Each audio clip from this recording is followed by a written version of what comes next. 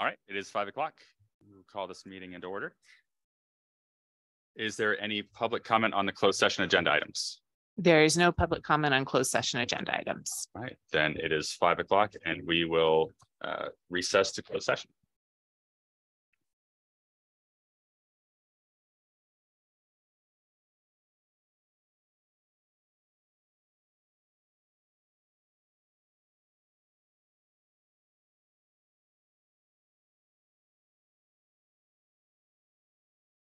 We will reconvene in open session. Superintendent, if you would take the roll, President Holt, present. Vice President Lynch, Present. Clerk Kirkland, present, trustee Dow, Present. trustee Ross. And if you would join me for the pledge of allegiance. I pledge allegiance To the flag of the United States of America and to the republic for which it stands, one nation, under God, indivisible, with liberty and justice for all.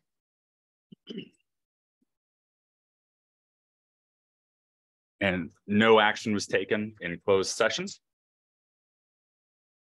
And I move to approve the agenda. I'll second that. Vice President Wedge seconded the motion. All in favor? Aye. Aye. And those opposed? And the ayes have it. Okay, so m- moving to item seven, public hearings. Uh, we will open first the public hearing on the local control and accountability plan. There is no public comment. Uh, no one from the public here to speak on that. So we will gavel out and end that public hearing. And now to open the public hearing on the 22-23 Auburn Union School District proposed budget. And there is nobody here uh, to speak to that. So we will close that public hearing. Moving to item eight, public comment. We do not have any public comment at this time. There is no public comment at this time. Moving forward to item nine A, the twenty twenty-three Local Control and Accountability Plan, or the LCAP presentation.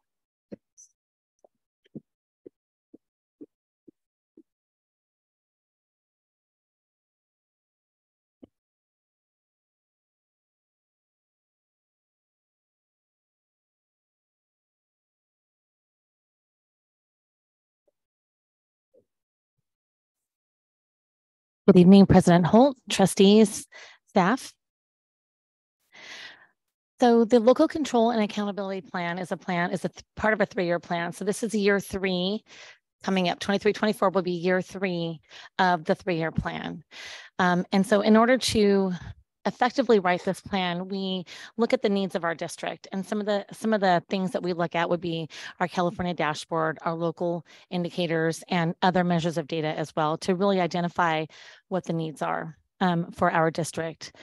Um, so we looked at our data, we looked at major themes, and we took that data and our plan that we wrote, that the last years of our plan and our themes, our big picture ideas to uh, our public for community engagement, to our parent advisory committee, and to our student advisors um, to get their student voices. Um, and so with all of that input and data and our, uh, so again, year three of a three-year plan, we made some revisions and some adjustments. So when we originally um, wrote the LCAP, we had specific goals. And so um, within those goals were actions and the actions are really what we looked at um, reworking because our goals stay the same for the, for the duration of the plan typically. So we identified uh, the following needs academics, behavior and engagement, and um, professional development. And um, so this is basically what you're looking at today is a slide deck that's already been mostly shared with the public. It's actually online because we used this information to take to our parent advisory groups and we printed some of this to take to our student groups as well. Um, some of this was also presented at parent engagement, at fa family engagement um, meetings as well. And I say some because as we continued through the year to evolve with this plan, some of the things changed. So um, within the academics, behavior and engagement, and staff professional development um, areas, we were looking at improving um, academics for our student groups and increasing scores for our underserved students. Um, we looked at VAPA and enrichment and um, art education for all students. We also looked to decrease suspension and expulsion rates as well, um, increase attendance for all students, and um, community engagement by really finding ways to bring our families in to provide, um, you know, that level of support that students need from their families, right? So we want to make this a welcoming district where people come and feel um, like they're supporting their child. And then our professional development, we have um, conference style professional development. We have a coaching program. Um, and really, I'm going to be honest, um, you know, when you look at our PD, I've been asked by other districts to share our PD catalog and some of the PD that we offer with other districts as well. Okay. Okay, so all students, including subgroups, will meet or exceed standards. So that's goal one in our LCAP. So what you're going to see in this slide deck is we're going to go goal by goal. Okay. Thank you. So um, I'm going to give you the big bucket changes that we made. Some of the LCAP stayed the same. Some of some of the bigger um, components changed a little, and some we changed a little bit more. So we reduced MTSS funding um, because we were able to provide training um, here in our district through our coaching program and uh, by working with our county partners. So Placer County Office of Education, as you all know, partners with us um, in a variety of ways. We had them here today to do some training for our staff. Um, working with them under differentiated assistance has been really useful and helpful to our district because we happen to really need to work through MTSS, right? So we so we originally budgeted more money for the MTSS goal, thinking that we were going to have to go out and find um, agencies to come and provide consulting services, which is, can be very expensive. Our Placer County Office of Education, they're experts in this field, and so once we learned that we could utilize their support and services, we contracted with them. So some of the work they do, um, they do for us through differentiated assistance, and some they do um, through some of the the LCAP funds. Um, Sarah Brickler, I have a quick question about the table that you're showing. Yeah. So when you see the contributing column and there's yes or no, so the yes indicates that we're using um, some of the funds um, identified through the LCAP process to fund that item. And then s- ca- can you just explain that why some of them say no and Sure. Sure. Yes. Thank so you. the the contributing column and and that that is a confusing column. So thank you. We spent quite a bit of time on that um in, in our community meetings. That contributing column means that we are that supplemental concentration funds are contributing to this action. So forty-one thousand dollars of supplemental concentration funds are being contributed to MTSS.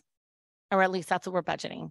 Um, that's about closer to the figure that we spent this year. We over budgeted for that last year because again, we found a way to work with our county partners and reduce the cost to the district. You will, as we go through, you will see um, there is actually one column that says yes and no. That's because some funds are contributing through supplemental concentration and some funds are not. And then you will see some, especially in goal five, which is a new goal, um, that uh, is not, supplemental concentration funds are not contributing to that, to that goal. Um, okay, so students asked for additional opportunities for before and after school clubs and programs. They were really excited about the opportunities they had this year and they want more. They don't want them to go away. Um, they wanted they wanted more sports, they want more equipment and that type of thing. So if you look, um, oh, Dave, I'm sorry. Can you go to the next slide? You want me to, you don't have a clicker, right? You Want me to click it? Yes. Um, so if you look at the before and after school um, intervention enrichment clubs, we changed that wording just a little bit because it was before and after school intervention, but based on student feedback, we added um, clubs as well. Um, so, and then we, and then, yeah, so the contributing fund was about 60,000. So it does, it didn't really change much there. Um, okay, action 1.5. So we're looking at um, supporting staff who implement and train uh, for the um, uh, train our other staff members um, so that we can comply with our English learner master plan. So we really took a good hard look at this because we had some funds contributing to this, but um, but because the the person that wrote the master plan left and we had a new person come in and I, we were kind of splitting that work up amongst different people because the position went away. We were really looking at what does the master plan say? what is the need? And so as you r- recall, I brought that master plan to the board um, last month. And so um, in that master plan, we added some uh, items and then we funded those items so that we could actually do them. And we funded them through this supplemental concentration. VAPA funds were added to fund our VAPA staff and Janine's smiling because the students love VAPA. They could not stop telling us every school wanted more VAPA. Um, guided reading was decreased because we we got to the point where everybody that needed training and wanted training had training. Our coaches are highly trained, and so we have in-house training for any new teachers that come in or anybody that wants a refresher. We do not need to contract that work out. Um, guided reading is a supplement, it's not core. And so we wanted to make sure that anyone who wants to use it has access to it, but we don't have to fund that through this, this um, funding source. Uh, and then we have um, class size. So we're really looking at making sure that we can support um, class size ratios. And so we wanted to, um, to go ahead and add that. This was actually an action that was in the LCAP the first year, and then it was taken out. We went ahead and put that back in. Goal two, so this is creating positive learning environments. Thank you, Dave. Uh, so we looked at increasing the library and media centers. We put some extra money in there. We want to make sure that our libraries are able to serve as the hub to our schools um, where teachers can take their classes in and um, do activities and have access to the resources there where um, our library technicians when they're on duty can uh, read to kids or you know do activities show kids how to check books out that type of thing. So we added some funding to this. Um, we also um, added funding to the it, it was the middle school vice principal but as you know last month we changed that to itinerant uh, vice principal position. And so we increased that funding based on COLA um, same thing with middle school counselor. And then for transportation, we wanted to make sure that any students who needed to um, utilize public transportation would be able to get um, that paid for. And so we, we Heather and I, we uh, we talked to the city and they did tell us that there is public transit available for our schools, particularly um, in North Auburn. And so we wanted to make sure that we can get vouchers to our families. I don't know that we're going to spend as much money as we put in. What we did was we really crunched the numbers and tried to make sure that any student, any unduplicated student who needed to access would have access. And then we'll see how that, you know, how that goes. Okay. Um, goals. Okay, Dave, we can go to the next goal. Okay, so these all pretty much stay the same. That I don't have much else to comment on these. I'm just pointing out those differences to you. So we can go to the next one. Sorry, Dave. So parents, families, um, and community engagement.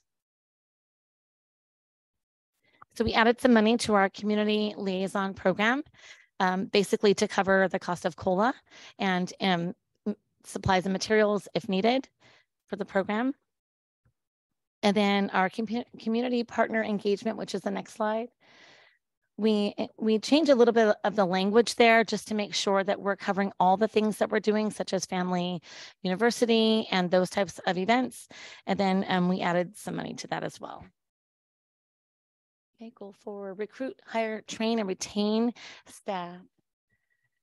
The professional development, we went ahead and continued with the cost um, of professional development. We believe that this is um, great for our staff, um, highly qualified, highly trained staff, um, and to keep our staff here.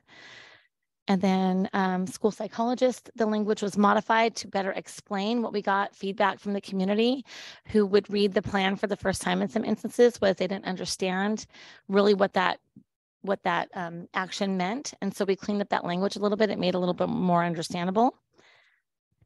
And then goal five. So this is the, the extra goal we had to add for um, to be in compliance. And um, this is for our students with disabilities to ensure that we are supporting them in improving their outcomes as well. So um, you will see here, these are not contributing. So they're still part of the plan, but the supplemental concentration dollars are not contributing to this. So we added in a program specialist position as, you know, I, I've mentioned before, to support our students with disabilities and our um, special education department. And then we um, added some money for professional development. So going back to that, so we have some money in the E EABG grant for that, but we also have some more money here. So we're going to make sure we get that professional development component covered and we can support our staff to support our students. And those are the highlights. Any questions?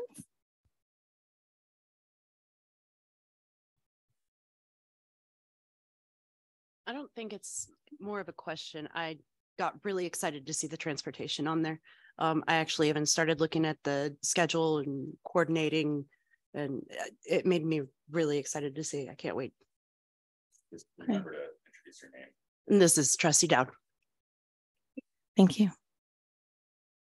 Um, this is trustee Ross, and you had mentioned that there was um extra money added for COLA. That was for the community liaisons.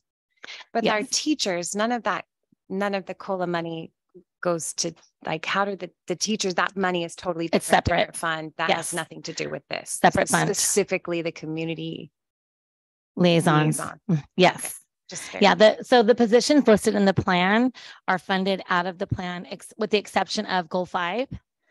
That position is not, but um, that's funded with block grant money. So our regular teaching positions are general fund and Heather can add. Uh, correct, sorry, uh, CBO Heather Leslie.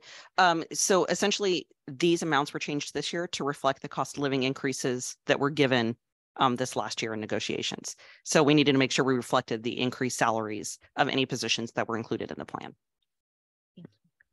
Um, trustee Brickler, so I noticed when I looked at the budget that we're budgeted to be um at fifty-five percent for unduplicated students. So we're like right on the threshold, right? And Yes. So if we were to dip below in the course of this upcoming school year and that ratio were to um decrease, does that mean that we might receive fewer LCAP or the the supplemental and concentration funds that we use to fund the LCAP?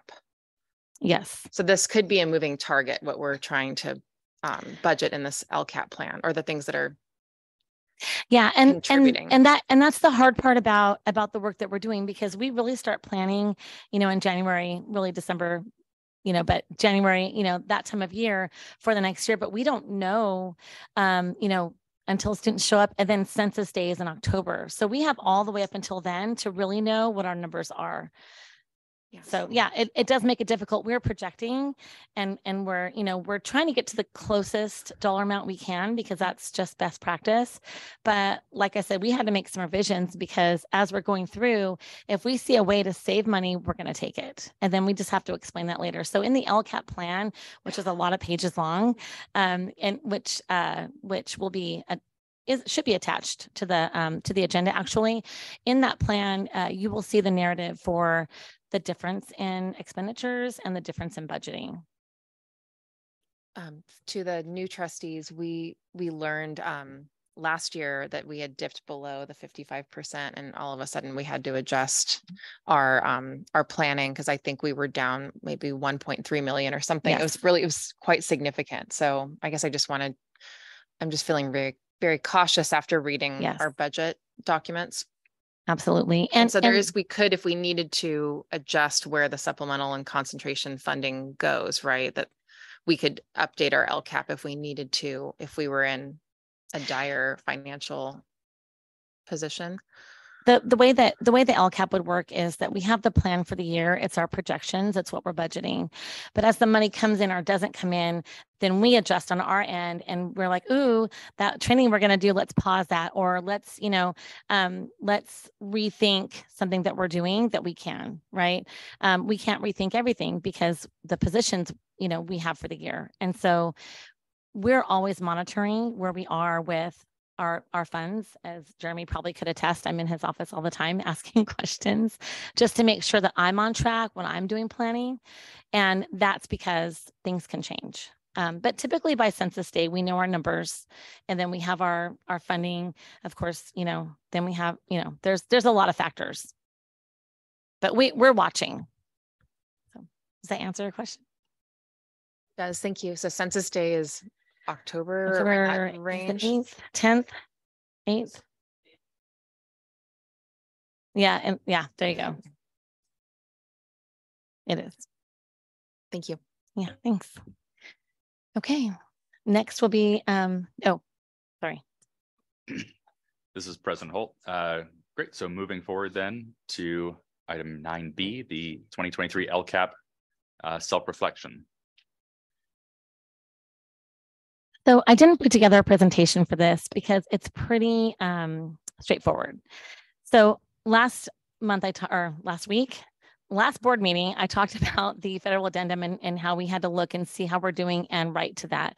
The local indicators are similar. So um we we annually measure our progress internally as well as the state annually measures our progress. So the state measures our progress and posts the results on the dashboard, which I presented on the dashboard data a few months ago. This is our own district's internal self-reflection on where we are with meeting our local indicators. So this, um, we write this up, we submit it to the state.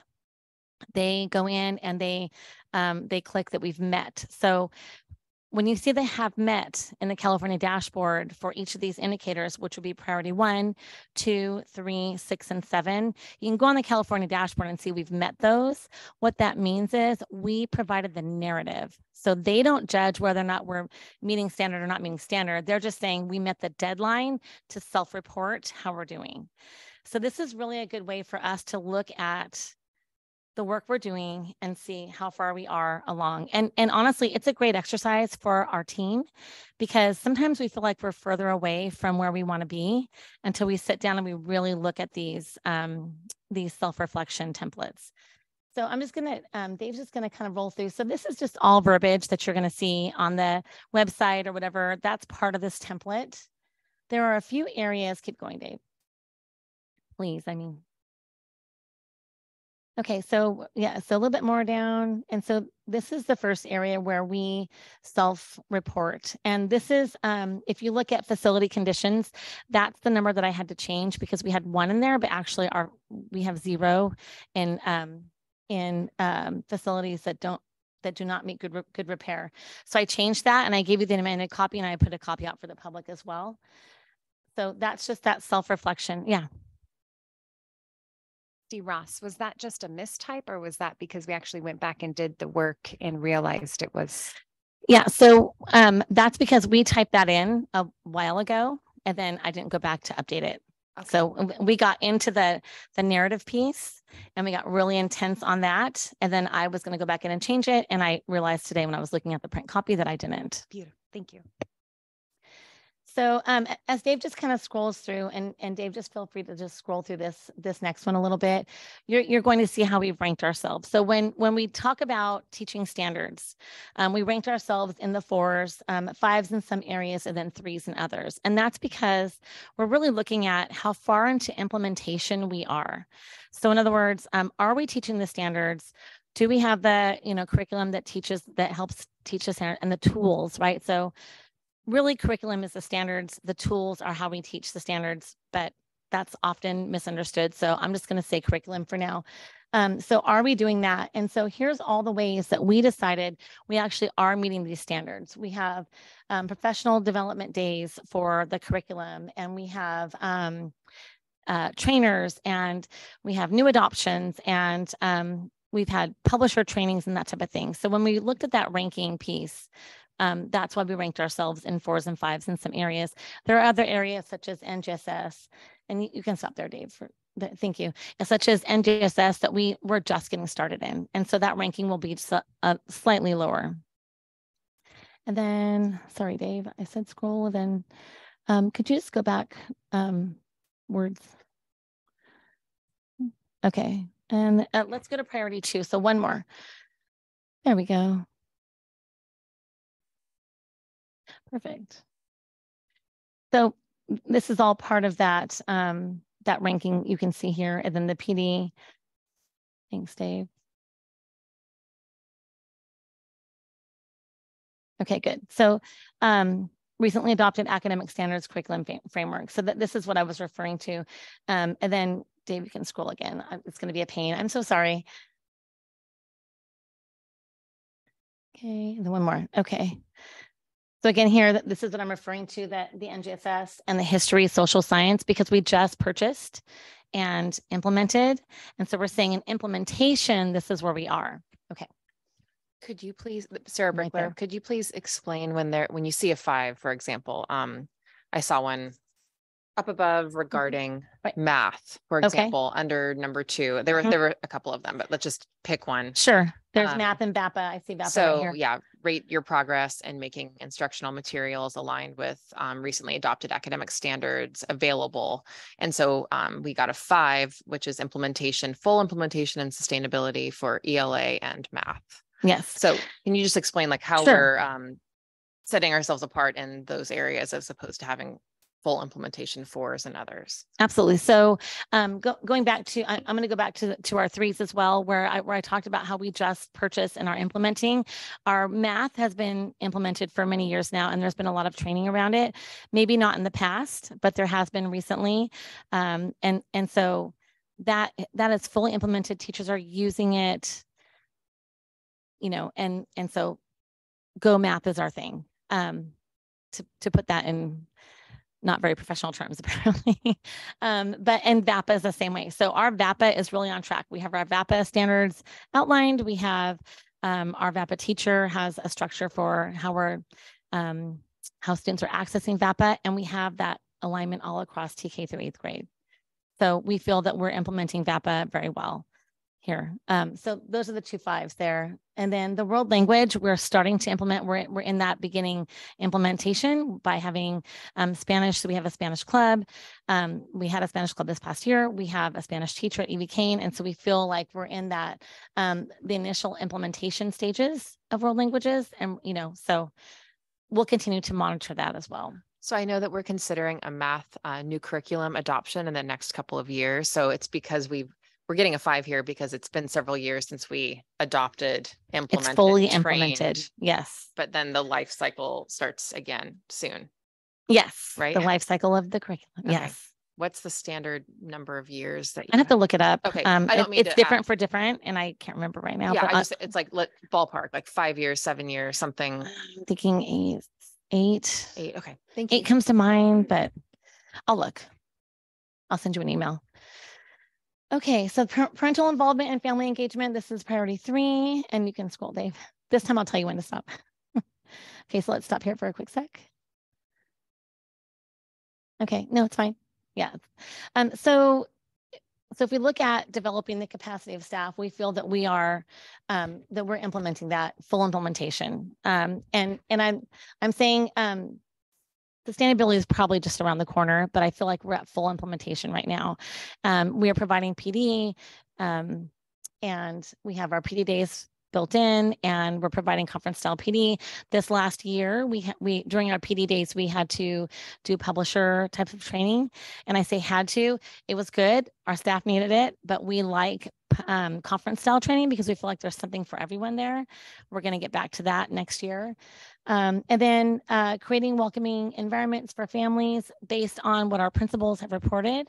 Um, maybe some family universities didn't have a lot of attendance, but some did. And families coming to back to school nights, families coming to student conferences, that type of thing. So we're looking at the whole picture where, you know, we see areas where we can grow, but we see areas where we're doing really well. So we're not quite at sustainability yet, but we're, we're working that direction. Um, and then, and then the goal, yeah. Okay, let's see. Oh, right there. And then building partnerships. Uh, we have some great partnerships going on here and we have um, long, long-term partners. And so we feel that this is something that we, um, that's sustainable year after year. Um, and then uh, policies and programs for teachers and um, supporting families to understand um, and exercise their legal rights. We feel that we provide that information to families and that families know who to reach out to if they need more support. Thanks, Dave. Okay, right. Yeah, we'll, we'll just, we'll stop at these, then, then I can talk about them. Okay. Perfect. Um, seeking input for decision making. Um, we're, we were excited this year to get the student voices going, right? To, to be able to seek. So, you know, having community engagement is, is good. Having community, community engagement and parent advisory committees is great. And then you add students and I, and we, we feel like we're making really great strides. And so what we want to do is just continue that along and make that something that we can eventually say, no, we're doing this very well and year after year. Thanks, Dave. Um, on that point, this is Sarah Brickler.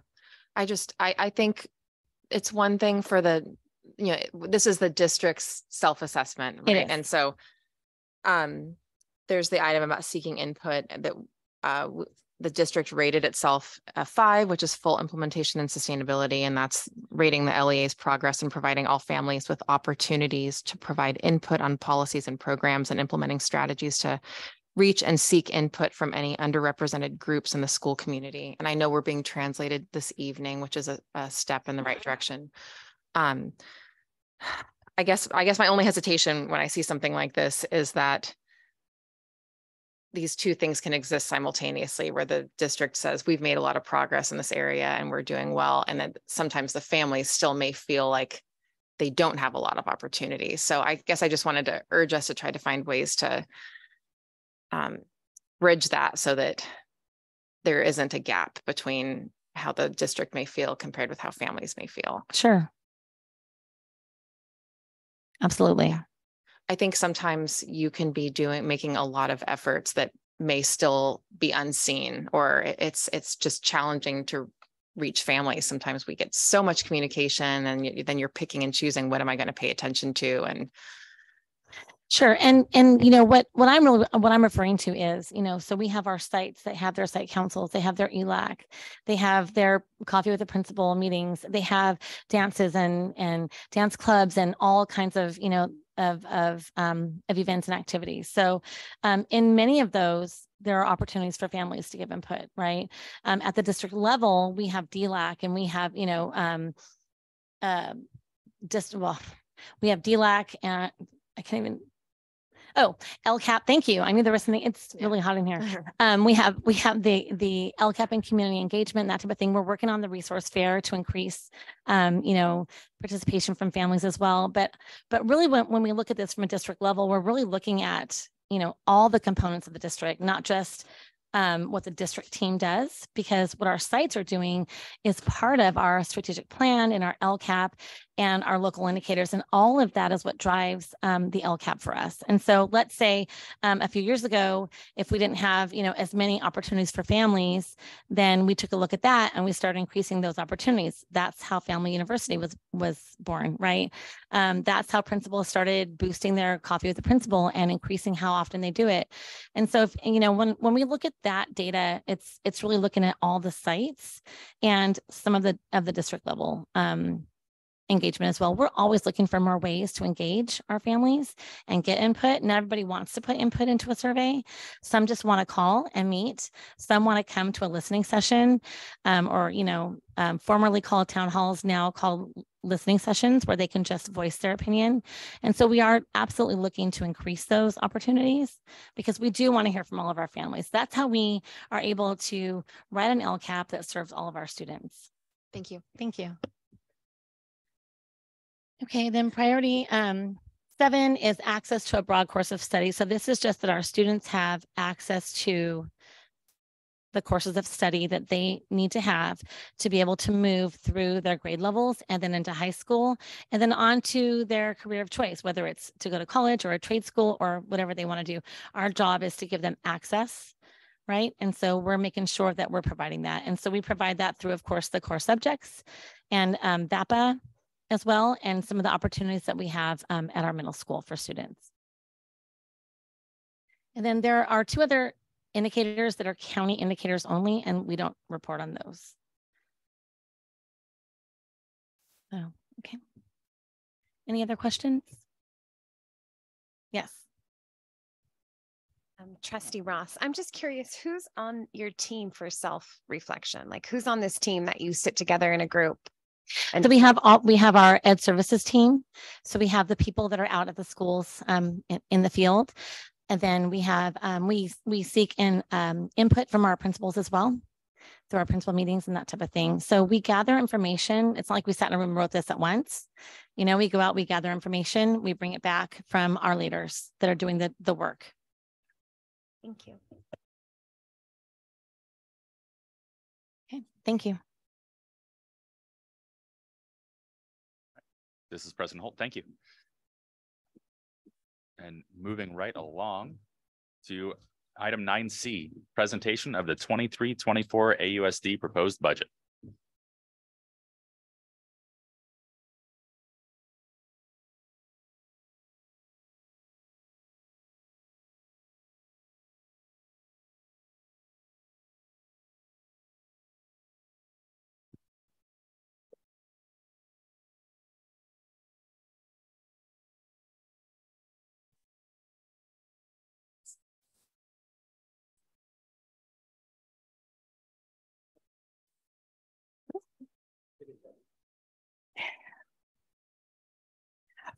Good evening, uh, President Holt, uh, Interim Superintendent Lucy Garcia, members of the board, um, audience. Um, CBO Heather Leslie here um, with a, a quick review of the proposed budget for 23-24. Um, before I get started, I want to go ahead and recognize that Jeremy McReynolds, our district accountant, is here. Um, lots of hours of Jeremy's time has gone into um, all these tiny adjustments as we work through. I think everybody in the in the room and probably listening is aware that we are still under letter of going concern with Placer County Office of Education. Uh, with that, we do have a fiscal expert that is assigned to us.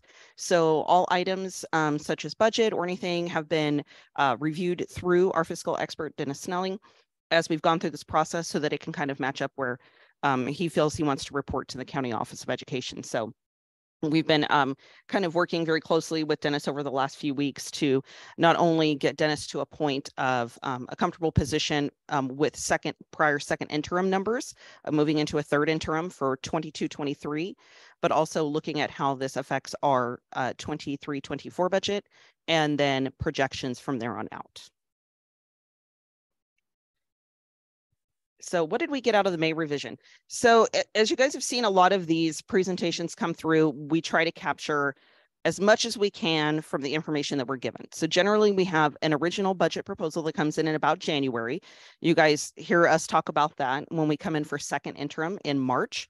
And then come May, we get what's called a May revision and that even now to this date is you know to speak to um, when interim superintendent lucia garcia was uh, up here talking about some of the time frames um, as we worked on lcap you know we we have to project here we're not really going to know until we get enrollment in and then we basically flow right back into planning and, it, it, it's very similar in this instance instance so right now we're looking um, from the may revision uh, the cost of living adjustment uh, is looking to be a steady 8.22%. There was some discussion if it was going to come up from 8.13, if they were going to partially fund it. Right now, we're looking at a fully funded cost of living adjustment of 8.22.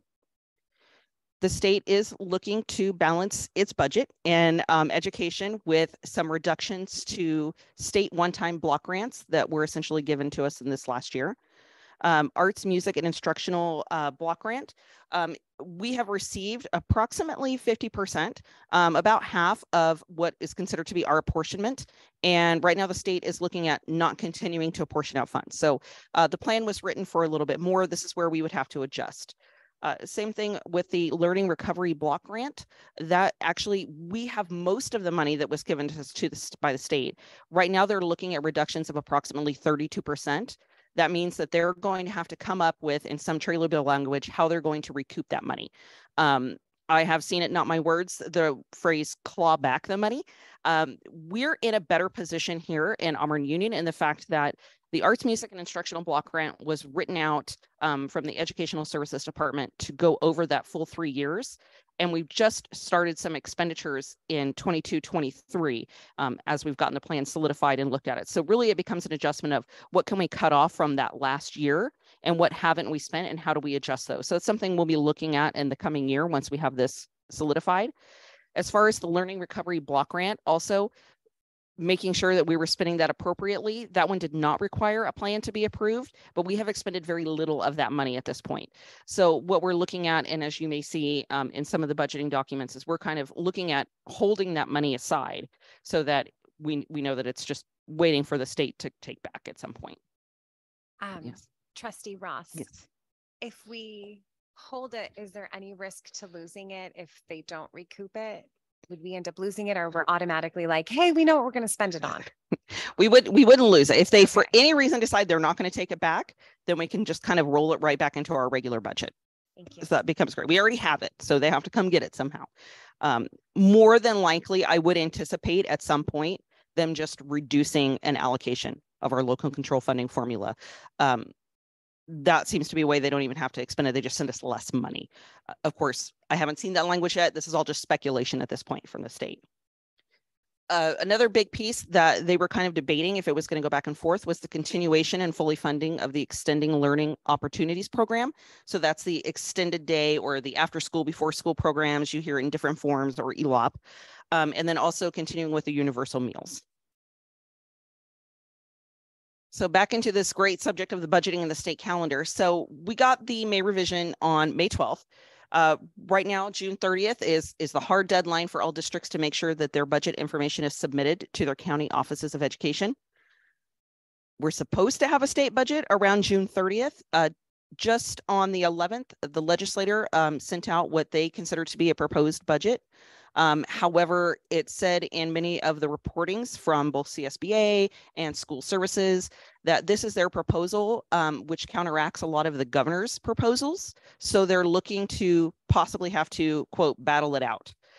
So this might be one of those years that we don't see a budget, a state budget actually adopt until after their July 1st deadline. Uh, December 2023, the state obviously will have our CBEDS time in there where we'll kind of be able to see, it's not CBEDS anymore, but our enrollment and attendance date of October. Um, so we'll get a little bit narrowed down as to what our enrollment is and kind of see where our, our average daily attendance is landing. Um, the state will start getting in um, all of their December taxes, as we all know, and we've talked about before, tax revenue has dropped in the state, and that's why they're starting to look at how can we kind of keep back some of this money? How can we cut programs? Um, so we're probably actually not going to see a determination on how bad of a state the, dis- the state's in until like January, uh, when we're already past our first interim and as in- interim superintendent I mentioned, you know, starting our new planning, um, that's when we're going to start seeing whether or not we have any surplus or any deficit at a state level. Um, this has not been officially proposed in any way. I just want to make sure everybody is very prepared of the fact that last time that they had a situation like this in the state of California, about 2007, 2008, 2009, what they did was uh, deferred revenue. So they did deferred allocations. So they just basically said, we owe you X amount of money for this fiscal year that ends on June 30th. We're going to pay you your last amount in the next fiscal year. So they just didn't pay districts. So typically this will affect a district's cash flow. And uh, we um, can apply for what's called dry period financing or pass-through financing from the county treasurer. A lot of districts just do this automatically. There hasn't really been a need for Auburn Union to do that. We've been able to meet our cash flows and not run negative even last year. Um, however, this year you will see that in your final budget submittals that go to Placer County Office of Education, an application for that, just because I do kind of have that concern. If they decide to defer that money, it could impact our cash flow. So we want to make sure that the county treasurer is covering us. So any big changes since 22, 23? So this is one where changes in between budget or how we're going along really becomes more of an interim per interim. Each new year is an is a new budget in itself. Different programs, different way we're structuring accounts. But some of the things that you may notice in there is obviously supplemental concentration monies. We're going to be start coding that a little bit differently. So that's going to have a separate resource code. It's still going to be under the general fund. But what that allows us to do is take the monies that are identified in uh, the LCAP and kind of give it its own resource. So when that money comes in, we deposit it right into there and we can expend right out of it. It's going to be a lot easier to track as we start doing some of these LCAP accountings. And then also allows us to kind of reserve that. So we, we can more so see that it's not ending up in the, it will still end up in the same bucket. It's going to be in the in fund balance. It's just as we look a little bit deeper into those reports, we'll be able to see, well, we have like, you know, a million left. but five hundred thousand of it is actually our supplemental concentration that's committed to the LCAP. So we really only have five hundred thousand dollars to play with. Um, we obviously have less expenditures from our COVID funds. We still have a lot of ESSER three money, which is uh, hanging around that we're continuing to spend down, and we have until September of 2024. So we have some time. Um, however, that income's not coming in like it used to be, and we're pushing those expenditures out as fast as we can. So as we start getting into those out years, that's where all those funds have expired. One-time block grants, obviously with the cuts are going to be expended and we're going to start seeing our revenues really drop and also all of our expenditures drop at the same time. And again, as we said, you know, expected uh, reductions in revenue and um, we may have to reimburse funds for learning recovery. So what does that 8.22% really mean for Auburn Union? Um, this is something that has come forward to you guys in other interim reports and also as we've talked about in negotiations. And this, I think, gives a little bit of a clearer picture. It's easy just to say we're going to take 8.22% and pop it onto all of our incomes, you know, whether that be special education grant monies or mandated block grants. But what does it really mean when you're in declining enrollment or you have a reduce in average daily attendance that we're funded on? So if you see here, our funded ADA, which has a, an asterisk on it, um, again, we're funded right now under the three year rolling plan for average daily attendance. So our daily attendance is down here, but we'll get funded on an average of the three prior years. Good news is, as we talked about before, that that, that was the state's way of really trying to keep everybody off that fiscal cliff that everybody talked about. Now it's more like a fiscal ramp. It's more like a slow decline to try and give people a chance to catch up. So as those lower ADAs get wrapped into those prior years, that's where we're going to start to see that that funded ADA come down. And if we get to a point where actually our three years prior is less than what our current ADA is, we can always take our current year. So that gives us some options in how we to get that money in. Yes. Trustee, trustee Brickler, could you please share the copy of the presentation with us? Because I think it, it's presented differently than, than, than it reads in the report. Okay, yeah, absolutely. In fact, that's um posted publicly too, but I'll go ahead and email that out. I thought it was the two budget doc, like the prior budget document. When I looked earlier today, It should have, it should have been the revised and then the presentation, but Okay. I'll send it out anyways. So as you can see, our funded ADA previously was at fifteen thirteen. We anticipate our funded ADA based on enrollment projections to be approximately fourteen oh six. So while the base grant has gone up per student, and this is an average because really it's different for TK through three, you know, four through six and seven through eight. But this gives you an average of base grant per student. And you can see our total funds coming in really only net an increase of about $51,000 because of that reduction in enrollment average daily attendance. So really our percentage change of increased revenue is about 1%, not a flat 8.22. And this was very similar to last year where we had almost a 13% increase in cost of living because it was both on the base grant and then the cost of living adjustment. But really we netted somewhere close to about 9%. So same type of theory, just way less of a cost of living increase. So this is, is, is a terrible line graph, but it does give you an idea. And this was straight kind of from our, our demographer study, but it, it's an accurate depiction. So you can start to see where this line is the average birth rates or what they, and then they have some projected birth rates. And this is just for people within the area codes of Auburn. So we're looking at 95603, 95602. We might have some outliers, but this gives you a general idea of what the registered births were. So as you can see, we're pulling information in from 2018 to kind of project five years forward. Obviously, this isn't going to capture TK, that's a little bit different, but just trying to capture how many kindergartners could we possibly expect. This is just one piece of her projection puzzle that comes down to how do we figure out how many kindergartners we're going to get? Most of the time, you can kind of figure an average of we've gotten about X amount, we're going to get about that many.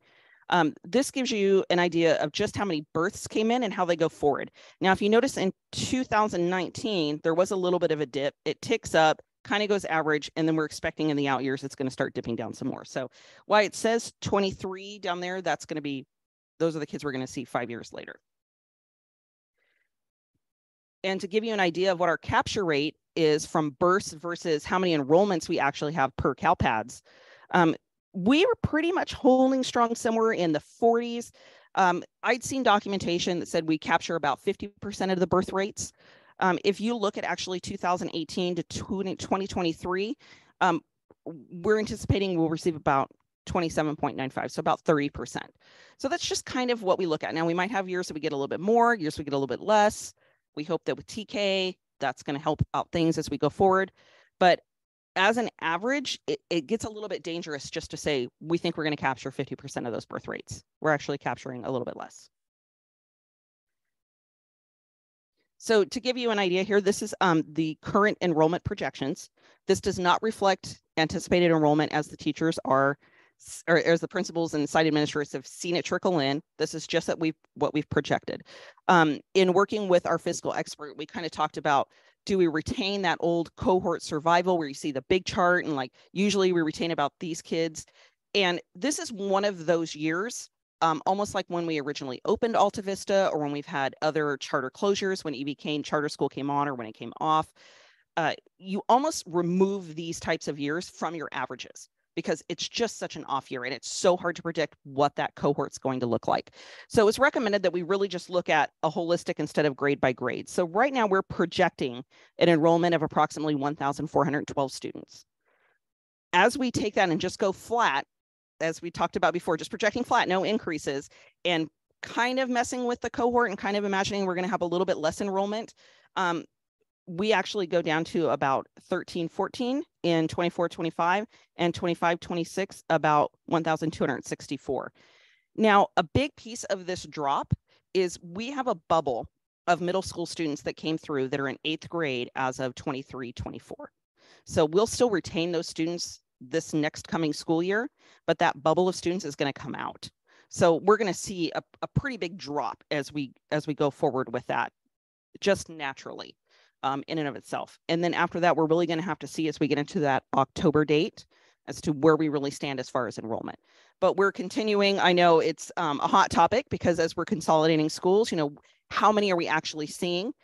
Um, we're starting to see a little bit of a tick up in elementary, which is great, but a huge decline as as far as middle school goes. So we're actually seeing much less middle schoolers enrolling and a little bit higher on the elementary. So I'm kind of hoping that those will at least balance each other out. Everyone's favorite slides. I really had to mess with this one because it was really blurry last time. So this is just a different look. Inside um, your packet, you have the multi-year projection, which comes from our um, uh, SACS system, which is the statewide system. Now, the difference is that you'll see, as opposed to the originally posted one and this one, majoritively stand with the fact that the numbers that we were pulling forward on estimated actuals is was really taking from revised second interim. Once we finally got it completely aligned and we've gotten more of our numbers in, we we're able to pull better estimated actuals. So it's a better it's a better picture of where we anticipate we're going to land at the end of this current fiscal year. The difference with that is we had a lot of unspent monies that kind of trickled through. So we ended up with a higher balance in estimated actuals.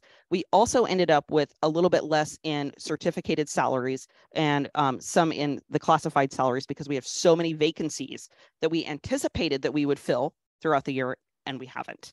So we have to make sure that we're looping those back in, anticipating, of course, budgeting forward. They're still included in the budget going forward. It's just as we netted, we ended up with a little bit higher amount. So that kind of rolled through as you'll go. So um, this one, as I'm trying to wean a little bit away from these Excel type spreadsheets and go a little bit more into the official documents, that's why you'll see those in the official package, which is what they anticipate. We have to put that in the system anyways. And but this I think gives a little bit of a of a bridge as to being able to read it a little bit better. So as you can see, um, we're anticipating as we come through that we will still be deficit spending all the way through. Um, in 23, 24, because of that higher netted ending fund balance, we end up a little bit better than what we originally thought. And as we go a little bit further into 24, 25, we start to see some of those costs tick up. Um, and a lot of this has to do with expenditures that we know are coming. I know we just talked about curriculum adoption. We've assigned some funds for that. So those are going to be spent. So while it really kind of holds that we still have that money in our hands in 23, 24, we're expending it out in 24, 25, which is going to increase our deficit spend. We knew we were going to spend it anyways. It's just going to look bigger. But in the end, because of all the continued spending and the reduction in the revenues, we end up with a much lower unappropriated fund balance. And then in 25, 26, as you can see, we continue to deficit spend. That just keeps compounding as we've talked about before, it just goes through. We're still ending positive and being able to make our 3% reserve, but our uh, unappropriated or unassigned fund balance is down to approximately $92,000. So we're still positive. Um, of course, any piece of this, as we said, it's always a moving target. If we end up with more students than we thought, this picture is going to look different. If we end up not expending out the funds that we thought, this is going to look different. If we end up, you know, having way more vacancies even throughout the next year, this will obviously look different. So this is just the pie charts that we um, include, but this is one that everybody seems to like. Um, this is our unrestricted expenses. So this gives you a pie chart picture of kind of where the funds are being spent at. So if you were to look at these and in the packet, and it's not in the presentation, the restricted ones, we have a bigger slice that are books and supplies because that's all that one-time funds that we're, you know, not using them for ongoing expenditures. We're using them for book supplies services. That looks bigger in restricted, but in unrestricted, you can see the majority is really salaries and benefits. This year, we're anticipating contributions from the unrestricted general fund. We're looking at special education being approximately 4.3 million. We have our required 3% contribution to routine restricted maintenance. It's about $700,000.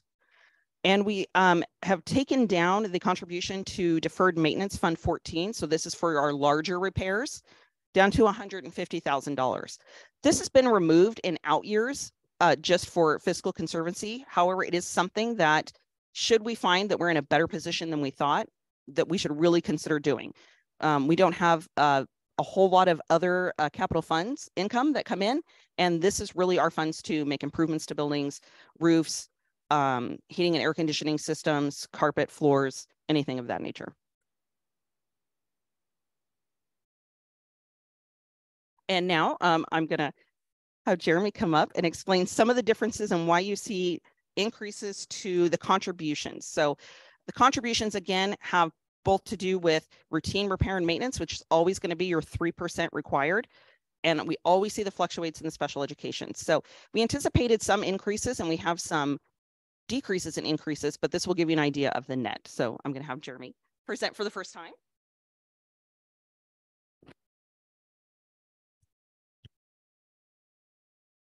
Uh, Jeremy McReynolds, the accountant for the district. Uh, I've been here a year now.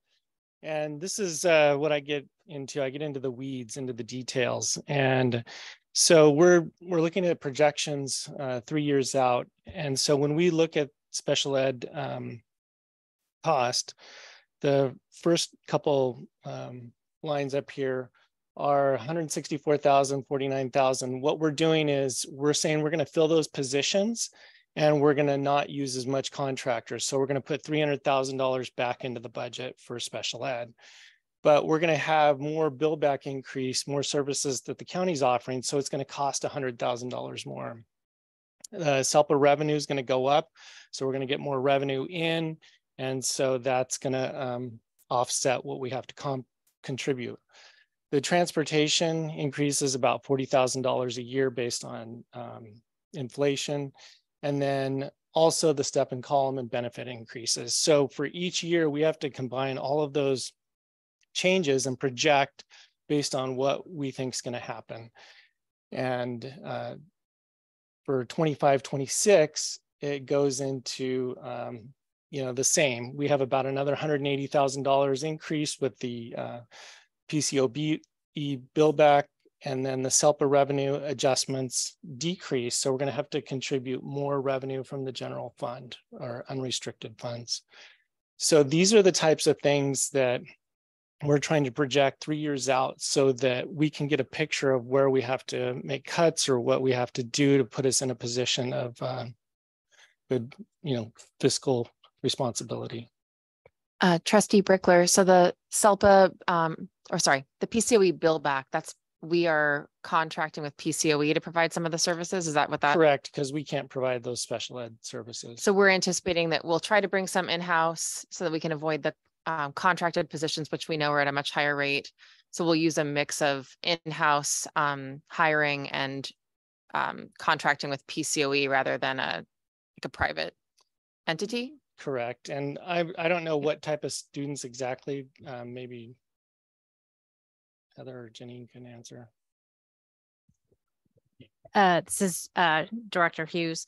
Um, yeah, so what we do, the PCOE bill back is for those students that need just more intensive services. And so it's kind of like the middle between um our special day classes here in the district and then like a non-public school. So it's just a it's more intensive kids. And so they provide services such as like medically fragile kids and things like that that we cannot serve. Do they go into a PCOE program? Okay, so it's not, Yep. P- I was thinking it was PCOE staff was helping us. Um, Mm-mm. No, it's actually a- like a special day class for those intense students Okay. students.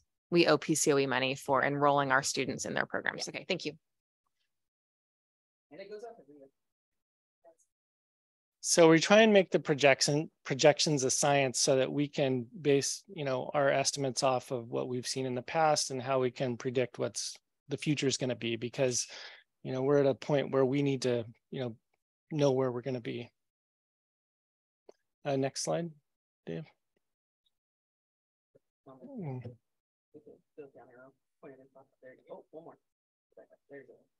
So I'm going to talk a little bit about the COVID uh, funding. And you can see that we've gone through quite a bit of it. The ESSER three, we have about a one and a half million.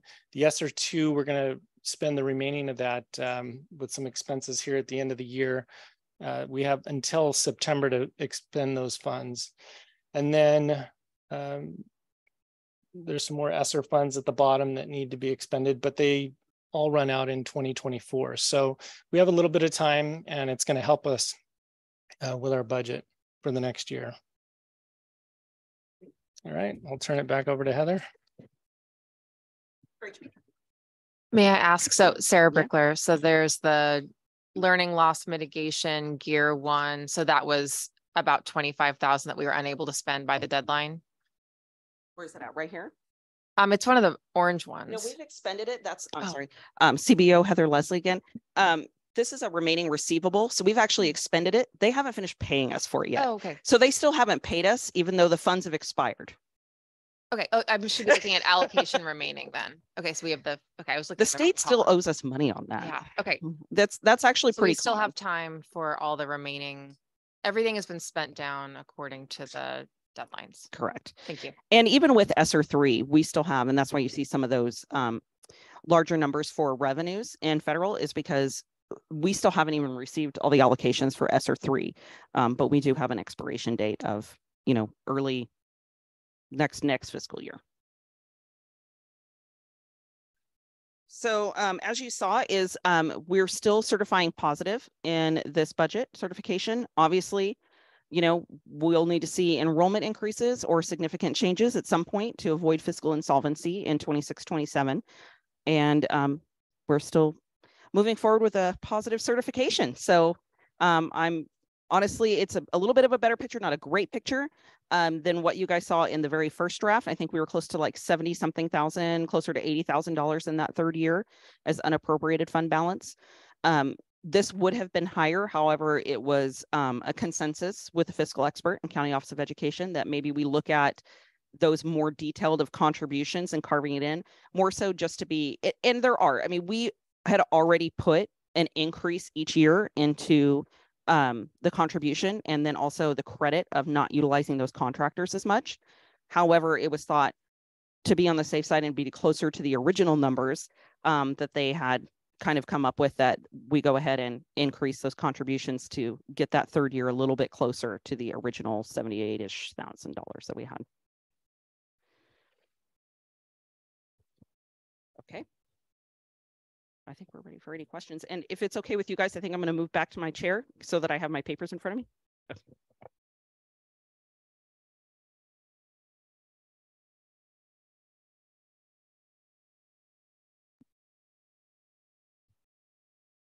Wants to open up with questions. Uh, this is President Holt. Um, I guess I would just be interested, uh, kind of a request here.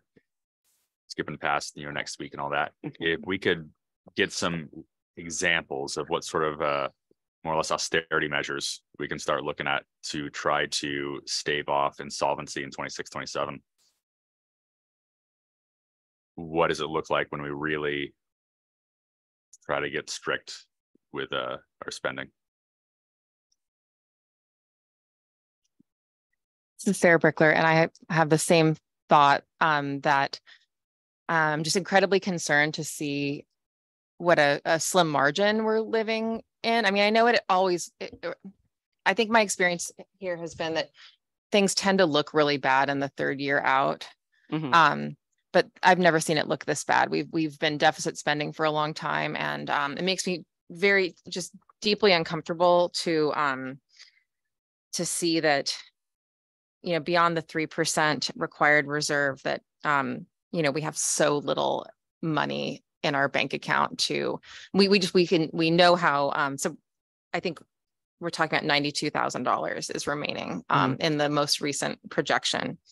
And we know, um, in education with the high cost of the, um, services we provide, that that's so easy to spend that much money here. Um, on a, a roof repair or whatever it is. So um, um, I made a, a list of a couple things that that popped up that I, I I don't know that we can make these changes. I don't know what the timeline would be to make these changes, but I, I think as a board, we need to try to identify um, with administration what can be put on hold at the moment so that we um, aren't in such a precarious situation. Um, things like the hundred and fifty thousand dollar deferred maintenance, um, whether or not we can consider waiting or using one-time dollars for things like math curriculum adoption or technology adoption.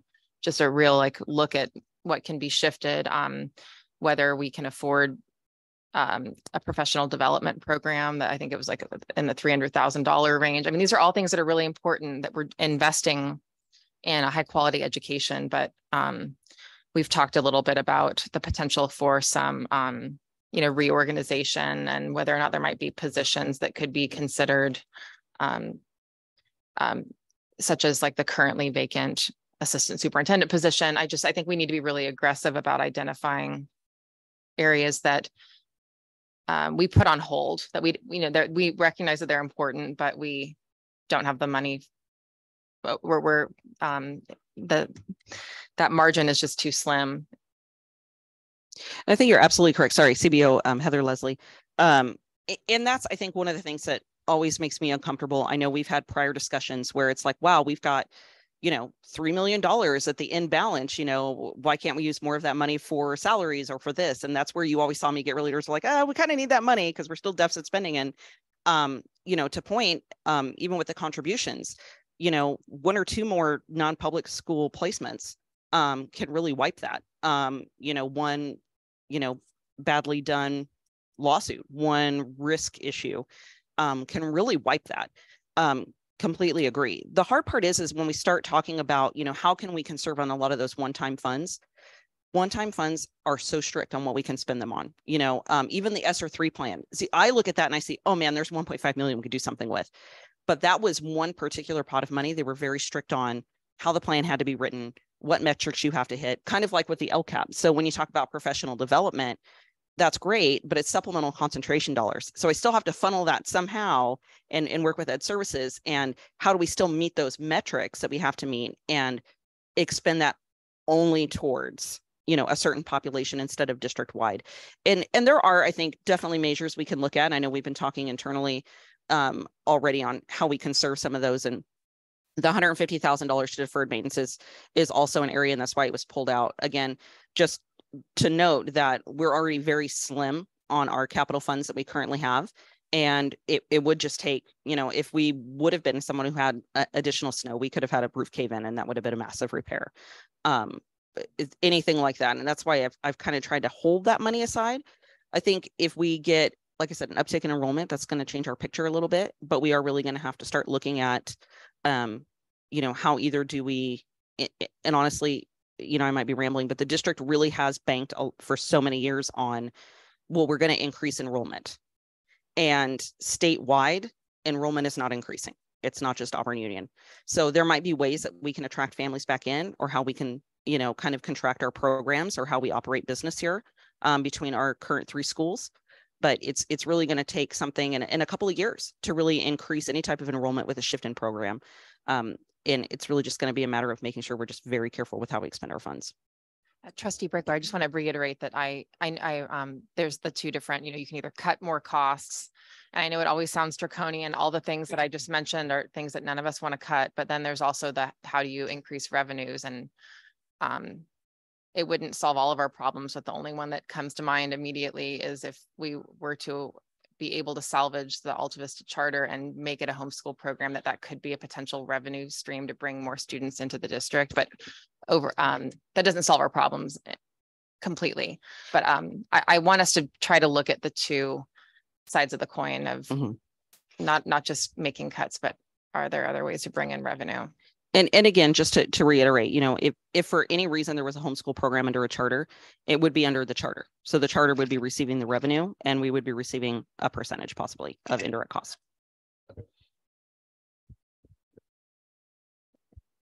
interim superintendent Lucia Garcia here. I just wanted to um to say too that, you know, what something that CBO Leslie pointed out to the board was, you know, when when we get these one-time funds, um, when when I go in to write the plan, and not that I write the plan myself, but I do oversee the writing of the plan, and and I I'm taking into consideration where we are right now, right? And so when I'm looking at spending money, I am stretching it out over the duration of the amount of time we can because I we never know if the state has to pull back funds, right?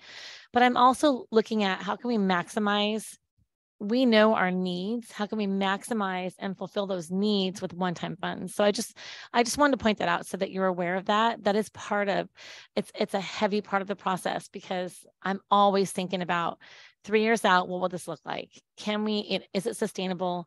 Um if, if i can do this for a couple of years how far will it carry auburn right? And so we're always looking for those creative solutions as well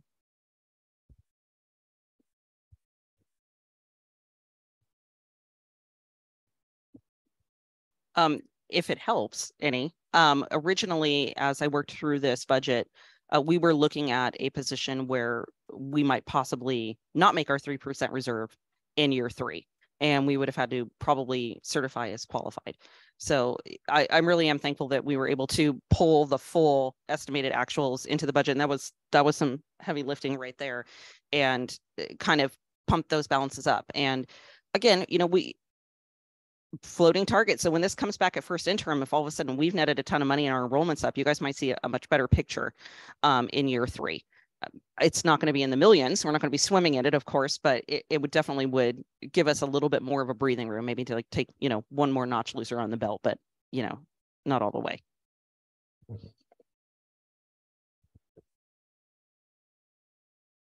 I, I just had a few um, small things that I saw that I like on, um, let's see, it's page four of the, well, the, the page numbers are tricky. Um, I thought it was page twenty of the PDF. There's, um, um, in one case, our average daily, um, attendance exceeded the CBEDS, so it's hundred and eight percent. Can you just explain? I didn't think that that was possible. Maybe I'm misunderstanding. I thought that the CBEDS data would always be higher than ADA for some reason. It just some, some, there were some things that popped out to me that. Yeah, it- That could be, that I didn't know if they would, they were an error or if I perhaps don't understand how the, the relationship between the two. And I, I can, I can pull that really quick and look if I can find the page if I get a moment, but really the, um, like it's this one here and it really is difficult. So as they've changed these forms for the state, the way these packets were put together are to have page numbers at the bottom and there's no good spot to put them on those state forms because they take up both sides and the bottom. So I tried to adjust and on the PDF, you can see the page numbers, but when this printed, these copies, you, you can't, they could, they're cut off at the bottom. Well, um, I don't want to take the time tonight, but problem. um, I had a couple things like that that just didn't look right, like where. Well, okay, I'll, I, well, actually, let me get into one of them. Yeah. So I had it on page twenty-eight, but again, I think that that again is of the PDF document. So That's okay. I know that the narrative went through 11, so I can. I think it was about, um, there was a time where we changed the way that we assigned the un, like the reserve funds. Mhm. And so in twenty twenty-one, it looks like we had nothing in unassigned or unappropriated. But I think it was more that we had changed the way the numbers were, the dollars were classified. Remember how there was like a lump sum for reserve and then you've been working to identify the kind of the subgroups within that. Yes. Um, so There's a couple of those instances. So to speak to that, um, I'm sorry, CBO Heather Leslie again. Um, I, d- I can't answer exactly what they did in 2021 because a lot of these numbers do auto populate from the state software system. However, I do know that there was a way that they assigned funding. I just don't know how it was assigned funding prior to me coming to the district. When I came to the district, I kind of backpedaled all the assigned funds to get a clearer picture of where our ending fund balance would be. Um, with that, it was it was kind of requested that we go ahead and put in in the assignments some of those anticipated costs like technology replacements and the curriculum adoption that we know are, are going to be coming. Um, so you will see a gap and, and that's where it's really tough because it'll say met not met and it'll have like a swing of like a hundred percent sometimes and that's because back then maybe they didn't have the assignments and we didn't have them last year but now we do have the assignment so it's going to kick it way up Right. So in Um, twenty twenty-one, it only showed that we had the, the reserve for economic uncertainties and it didn't show any other reserves. So it looks very small.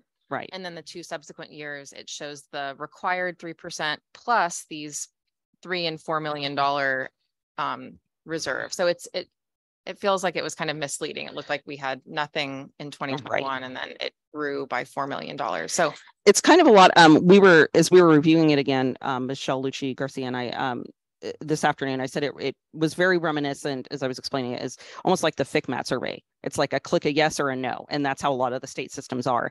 Uh, for example, another one of those um, is the I want to say it was like six hundred and something thousand dollars, and it was um, in revenue that was in last year and then completely wiped for this next fiscal year of 23 24 and all that was was um, a very minor amount that came in from alta vista which was a different um, percentage for oversight that's completely different from indirect cost. And then their portion paid back for the mental health services. So basically it pulled in from one area and and paid off another area but it just all of a sudden drops and makes it look like we don't have any of that revenue coming in. But that's where the explanations kind of tick in in a lot of areas Yeah, and then one case, it looked like in 27, 28, the county office of, of education enrollment was going to be eight hundred and six. So there were just some numbers that, that looked, um, like, that they could use another look. Okay.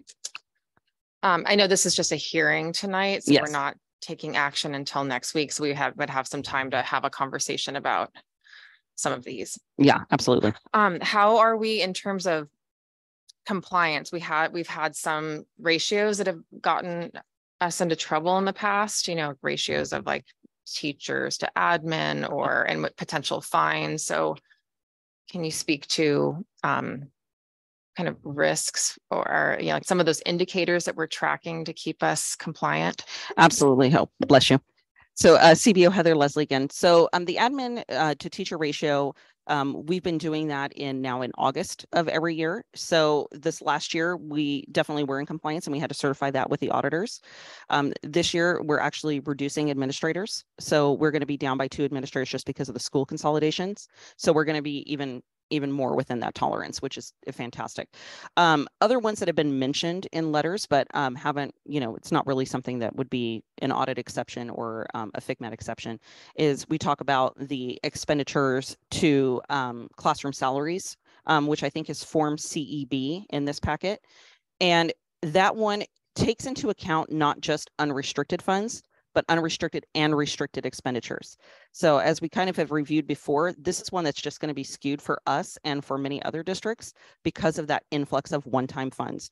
So instead of it, it's it, it's kind of it's bad both ways. So if we were to take them and put them onto ongoing salaries, we're not being fiscally conservative enough because we're committing ongoing money with one-time funds. And we would honestly get dinged on that too. That's another box that I have to check on these criterion standards and a box that FCMAT had as well.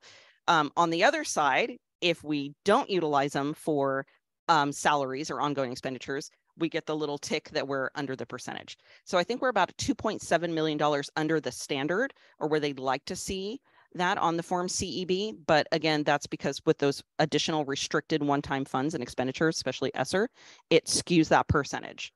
Um, that's not a, an audit find or or anything that we would be fined on. President Holt, I just want to interrupt real quick. Director Peters, we're not on mute, are we? Okay, up on the screen, it looks like the blacked out one. Normally we see our picture back. Okay. Just wanted to clarify. Thank you. Trustee Brickler again. Um, could you explain why it looks like the LCFF revenue is non-linear? I like um I, I'm looking at the, the original budget document, so the Mhm. numbers might be a little bit off, but I was looking at the unrestricted revenue.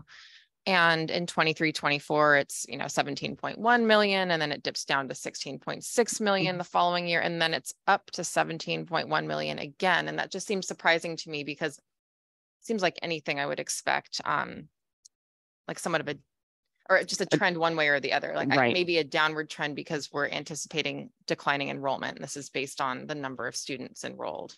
Right. And is, um, sorry, CBO Heather Leslie again.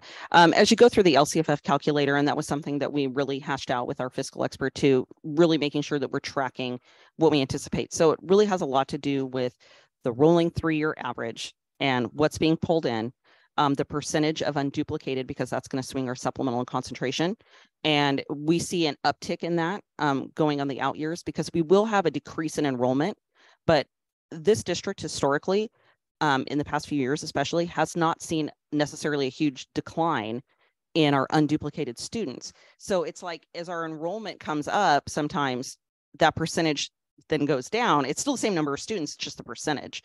But as our enrollment has declined, like we saw at the end of, you know, this fiscal year, um, our enrollment came down, but we saw the same number of unduplicated students. So it kind of bumps up our percentage a little bit. And then that kicks in additional concentration funds that you'll see in 25, 26.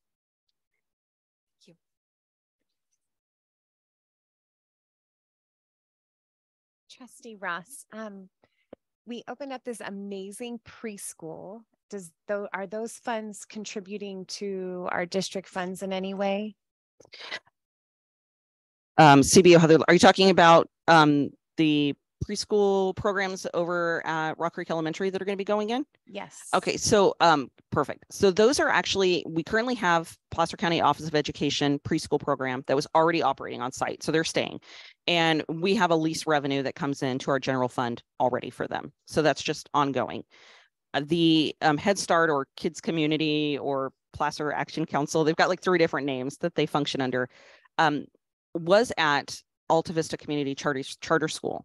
Um, that lease revenue was actually going to the charter school fund itself, Fund 09. They're looking to be moving at some point, and we're basically committing to that same lease revenue, and it will be going into our general fund. And so that will be captured into. I don't want to say it's other other increases or transfers in. It might be in that line, but it's we see increase in lease revenue. So also the uh, lease revenue that we'll see from Blue Door uh, Community will also be going into the general fund in that pot as well. And then my next question would be is, um, what fund, because now we've just added new, this program specialist would be district office employees as opposed to like a specific school, correct? And then Right. do they come out of, is there like money set aside for that? Like, where's that money coming from? Because these are brand new positions. Where's that coming from? Well, this is kind of twofold. So um, it depends on how you want to look at the net. So for the program specialist, and, and catch me if I'm wrong on this one, for the the new program proposed program specialist that would kind of oversee the special education process. Um, that is slated to come out of special education funds and is already built into these projections. Um, but second, as you guys may have heard, we also have quite a lot of bill back. We have, we're over identification um, according to our FCMAT report uh, for our special education students. Um, we're really trying to rein in because we are very heavy. We have a very high special education population for Placer County even. Um, you know, very heavy on IEPs, as we've heard discussed from Director Hughes, uh, someone to really oversee that. We anticipate then that that will then tighten up, be the ability to tighten up that program and reduce those costs as well. So it's kind of like how we're going to end up netting. We're not, we're not really exactly certain at this time, but the increases for that position are estimated in the projections going out. Do we see a potential increase in IEPs or is there any patterns that would cause us any just any more? Uh, Surprises? Yeah, in our special ed education. There's always a surprise in special education. There's always, I, I don't know, Director Hughes, do you have any insight on that you might want to add? This is Director Hughes. As CBO um, Heather Leslie said, um, it's unpredictable. It's really hard to predict special education. So it really just depends on, you know, students coming in, um, if they've had early intervention. I mean, if students actually have early intervention, early intervention, they're more likely to get out of special education. So those students getting it in that infant preschool time. And so those are the just kind of things we look at. As far as increase in IEPs, it really just depends on the population. Um, you know, the, one of the ideas with that program specialist is like CBA Leslie said, or Head Leslie said, is just to really work on reducing those students that we have to place out and really increasing, you know, staff's ability to work with some of our um, really most challenged kids. Um, trustee Ross, I, I read a recent article that said with the opening of more charters and private schools, we're going to have less of our students that may need extra help exit the system and more of our ELD students and our special ed students come into our district. Um, and so I guess that would be a future budget meeting, but knowing that is coming up, are, you know, are there any precautions or exist or funds that maybe the federal government we're not paying attention to? Maybe there's a grant, I don't know. Uh, Uh, You might be the best one to answer that, Director Hughes, if Yeah, you've this is Director Hughes. I mean, it's, it's, it's really hard. I mean, we really have to look at the population that we work with currently and really look at their needs, right? I mean, there's, there's certain students, you know, if they come into our district and they have, you know, let's just say like really intense medical needs, those aren't kids we can serve in our district. We just can't, we don't have that set up. And so those students automatically will get referred to a county program because we don't have that set up. On the flip side, we don't have enough of those kids to make a full classroom to make it, you know, fiscally make sense. Right. And so that's where that challenge um, comes. I mean, this year, I think uh, we did well in creating that um, autism program, right? And keeping some of those kids, which we would typically place out to, uh, to a county program, we kept those students in. And, you know, we're trying to grow that program to make sure that we can serve our students um, in-house. This is interim superintendent Lucia Garcia. Um, I, I also want to, um, let you know that we're focusing on all of this through our professional development as well. And I know I've said that already, but I'm going to bring that back to center because, you know, as, as we talk about serving our students, you know, are, are they over-identified? Um, our, our data will show that they are. And, um, you know, some of the ways that we can mitigate that is to provide more PD to all of our educators that serve students to really be able to differentiate and provide um, scaffolds and structures for kids so that we don't over-identify. I just want to add one more thing to that, just because um, um, um, interim superintendent Lucia Garcia, it's hard, it's a mouthful, um, just mentioned professional development. So at the beginning of next year, for example, we have our psych team actually doing professional development on eligibility, on child find, on differentiated instruction and things like that to really help everybody understand what that means and how to kind of um, tease some of those things out that may look like, say, behavior, but maybe it's related to trauma and not a student with special needs. Uh, trustee Ross, uh, I, if I'm off topic, please let me know, but if, or maybe we need training on like, what's the screening process? Like, cause I know there was, if I can recall, I think we did like a screening process at Alta Vista. Um, It, actually starts off with really the, um, I mean, MTSS process, but also our SST process, right? And so what we really try to do is to go through that SST process and provide interventions before we get to that place where we have to assess students. Now, we are going to have those, those students that, you know, come through our door and you know, we're moving right to assessment, right? Because we, we know what's going on. Um, but it really just depends on the needs of those students. But we really do start off with that SST process. And that's been really successful with a lot of our students is providing that intervention early and really, um, I will say kind of gatekeeping and to make sure that we're not over identifying, but it's a work in progress. So I think that over time, you're going to see a reduction in that. It's just going to take time and some some hard work on everybody, including, you know, principals, leadership, you know, all of our educators on really working hard and being able to have those skill sets to apply into the classroom. So we're not over identifying kids. sorry, last question, trustee Ross. Um, our reading intervention is probably one of the greatest programs that I've seen. And has it been proving, is that actually saving us money? Is it? How's like, Are we seeing improvements? Are we receiving money anywhere? Michelle Lucci Garcia here. So um, uh, the the reading intervention program is funded using Title I funds, and so what what we do is the principals take the data to their school site councils. They determine the need. That program could change year to year depending on needs. So if principals collect data and it shows that our students are reading, you know, and and they want to spend title funds on a different type of um, program for students, then the site council and the principal determine that need. Um, and yes, I, in any kind of um, program that we can get in front of kids typically will help, but we do have to monitor the data because there is a point where it might not be helping as much anymore. And so we really need to, to look at how we're spending those funds. And trustee Ross, with our Title I funds, there is a new way now, right? Like there, uh, last year Title I's fund went specifically to a school, whereas now they're going to the whole district, I think I heard you say. And how will that influence our budget and our funding? Yeah, um, Michelle Lucci Garcia. So um, title funds will be spent at all sites this year following the students that um, that the funds are created for, right? So our our underserved population um, at all of our sites. The Title I funds were at actually two school sites since I've been here.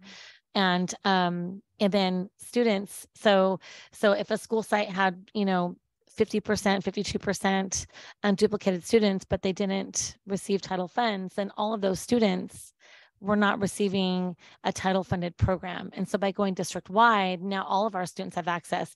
Um, in the title uh, process, if you use the ranking system, which Auburn has historically used, then you can rank your elementaries first and then your middle later. And because not all of our sites, um, Alta Vista didn't have, they last year they had 34% unduplicated students. So we had to stop the ranking and um, just fund the two sites that had the highest rank.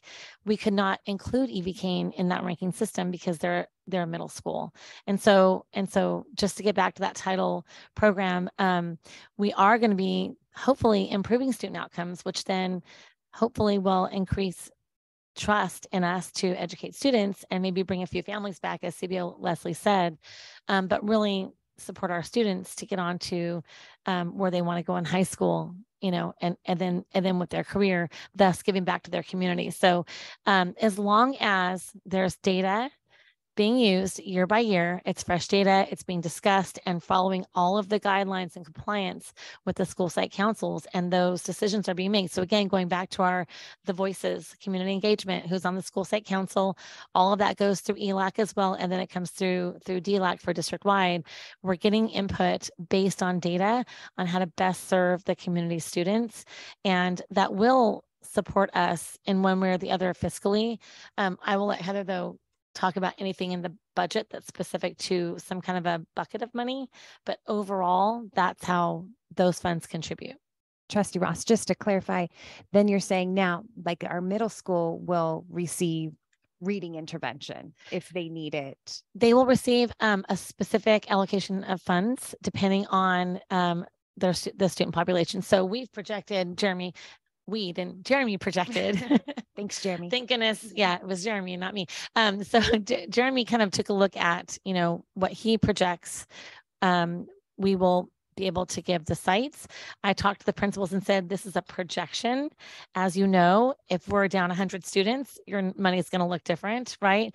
But we're confident that we can run the programs that the principals put forth. So, um, however, Principal Mayberry sees fit to spend the money as long as she followed all the compliance guidelines and had the parental family staff input then she'll tell me how she wants to spend the money and then i will um, take a look at it I'll look at her data, I'll hear her rationale, and then I'll make that decision that yes, okay, this is a good use of funds. I have to watch over that a little bit because there are allowable uses and I don't want to misuse funds and then have to, you know, go through all that.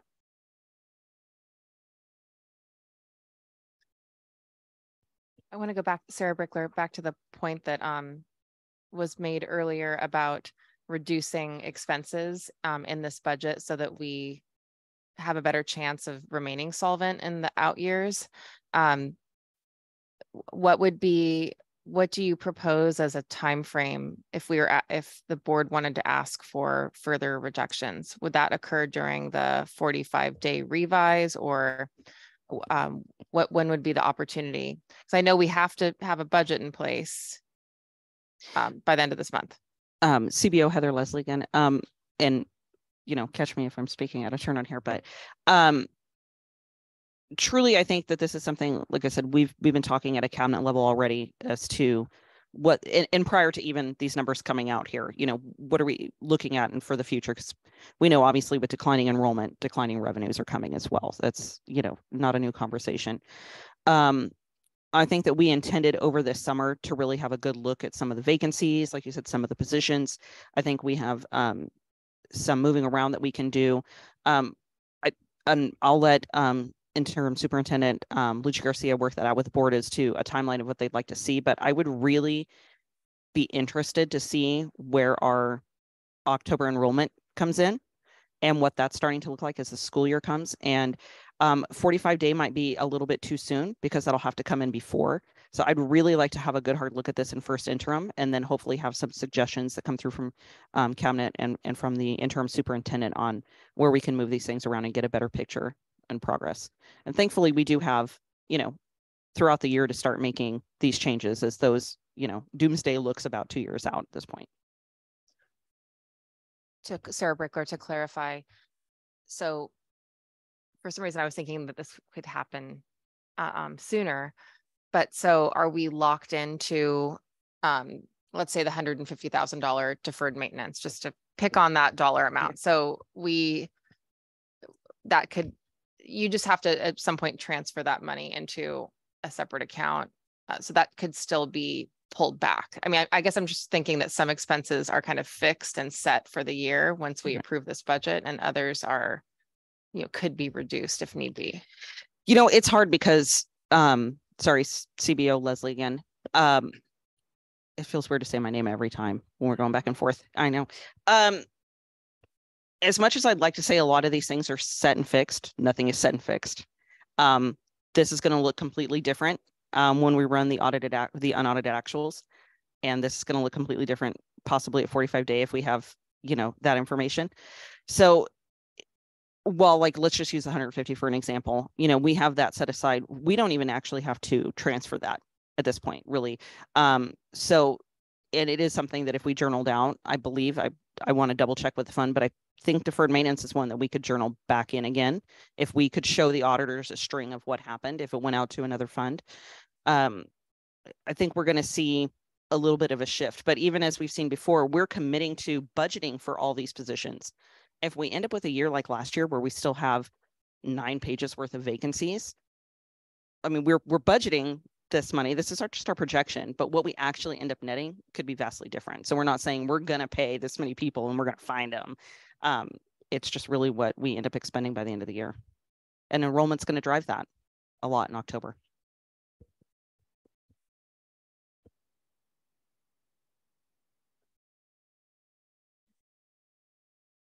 This is President Holt. And uh, I think to clarify too, some of what I was suggesting, uh, asking for your suggestions on uh, what would it look like to set us on a better path going in the years forward. Some of that's for next year and the following year. What are the bigger changes we're going to need to do as a district, um, not just this year? So are there any additional questions? Trustee Ross, I know I told you that was my last question. I am not a liar, but I'm so sorry. I just keep having more questions. Um, professional development, um, I, just reflect back to like my own program and how much I love training. I, I love it. But is, and is our training evaluated? Like, uh, is it coming back to us that like, yes, this, this professional development is totally working and we're so glad you're putting $150,000 into our professional development. I mean, what's the reassurance that these things are working and that we should continue investing in them? Michelle Lucia Garcia here. Um, so there are surveys and there's feedback forms and that type of thing whenever we administer um, any kind of professional development. So from our PD days that are built into the contract that are non-school days, so non-ADA days, but we have all of our staff here um, on paid days to train them, right? So um, from those days to anything that we provide after school um, and, and, and that type of thing. So you know when when you look at the feedback and and the coaches have presented in the past they were unable to present this june but they are going to come back in the fall with some of their data from this this past year. And uh, when they presented in the past there was a lot of positive feedback about the coaching program so if you think about um, and, and professional development. I say coaching program because it's typically our coaches that present the PD, um, or you know, or if it's a PD day, we may have to secure it. So for textbook adoptions and that type of thing. Um, but if you look at providing professional development to staff, um, helps them become more effective and highly qualified. It makes them feel valued, and therefore um, we can retain staff that way.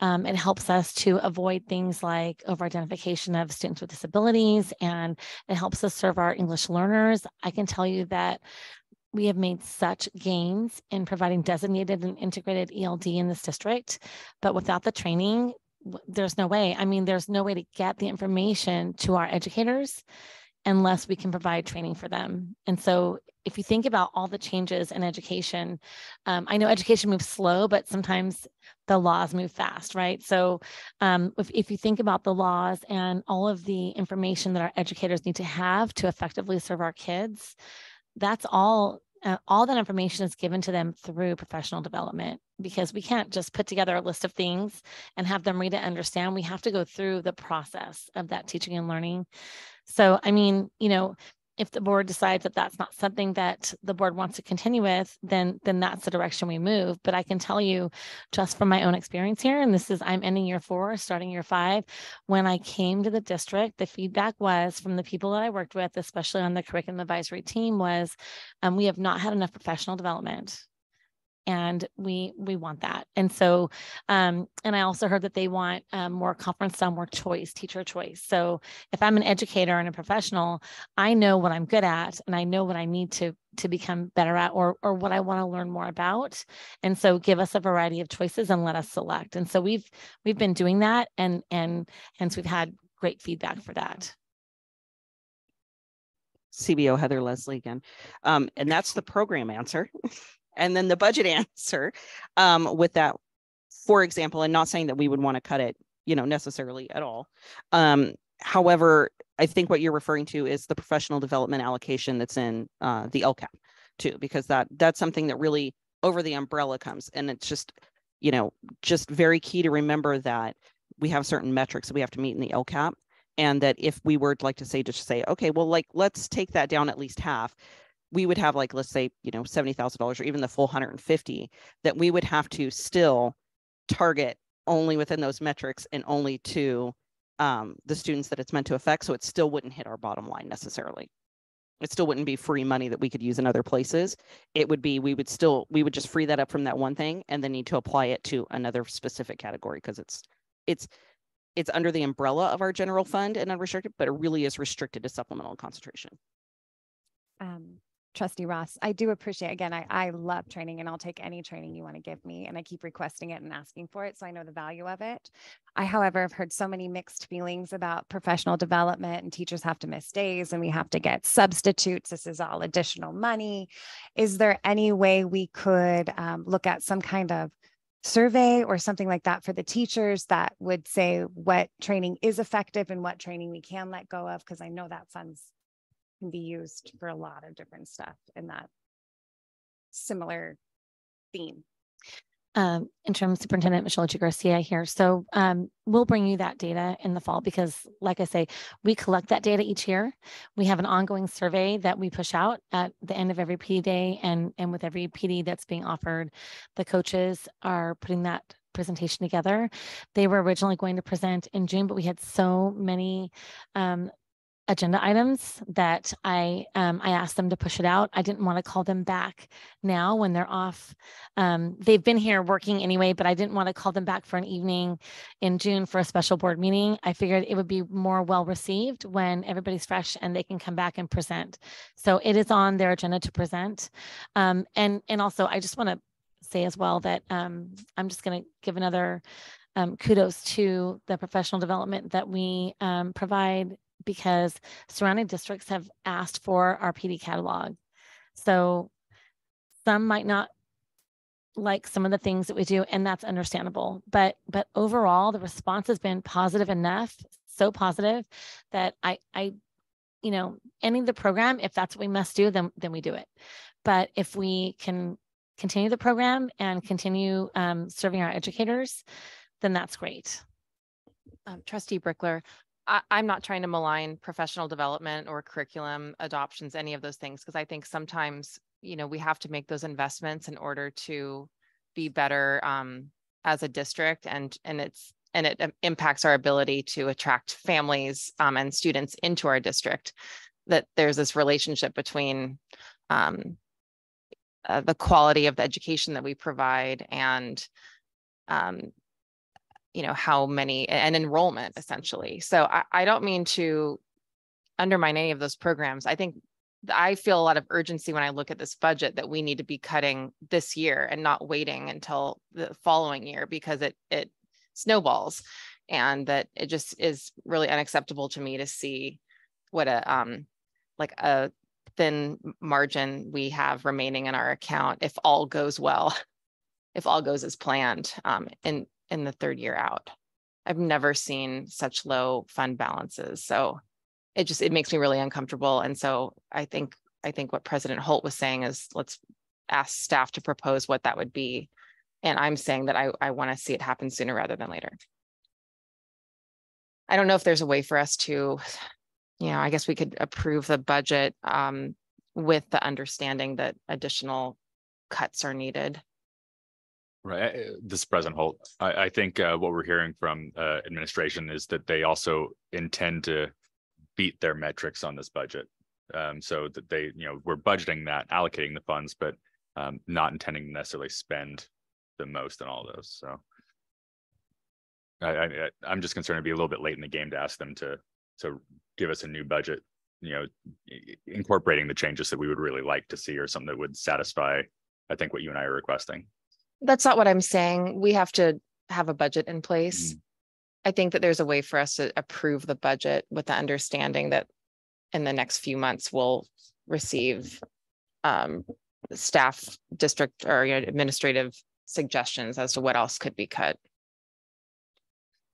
um, CBO Heather Leslie, I, I think absolutely. And um, as you'll see in the presentation and even some of the narratives and the criterion standard, it, it refers to that, um, you know, significant cuts or, you know, evaluations and how to reduce expenditures will be needed for that. So I think, I think that's a kind of already woven in, which is good.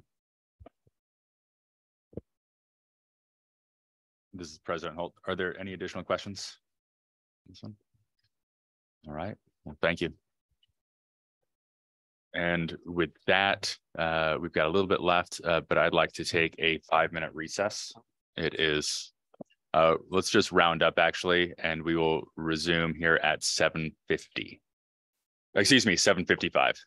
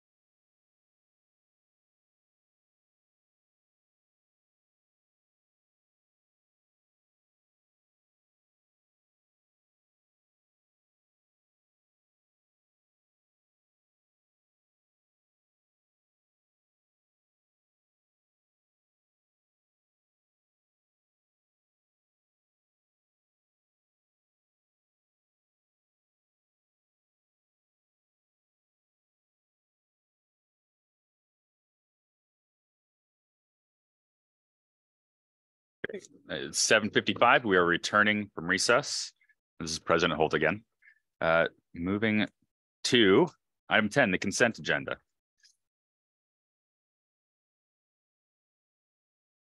And do we have a motion? I will go ahead and make a motion to um uh, for the uh, consent agenda for approval. Uh, Sarah Brickler, I'll second. Oh, sorry, Jason Wedge. And President Holt, uh, all those in favor? I, Aye. And those opposed? None opposed, and the motion passes. Motion carries. Moving to item eleven. uh, Approval of resolution 22 23 27 requesting collection of charges on Placer County tax roll. This is interim superintendent Lucy Garcia. Annually, the board must approve res- this resolution requesting taxes on the community facility district levied by the county of Placer. Administration recommends the approval of this resolution. President Holt, are there any, any clarifying questions? No, seeing none. Uh, is there a motion? Jason Wedge, I will go ahead and make a motion to approve this agenda. I'll second this, that. uh, Trustee Dowd? Resolution twenty-two, twenty-three, thirty-seven, resolution.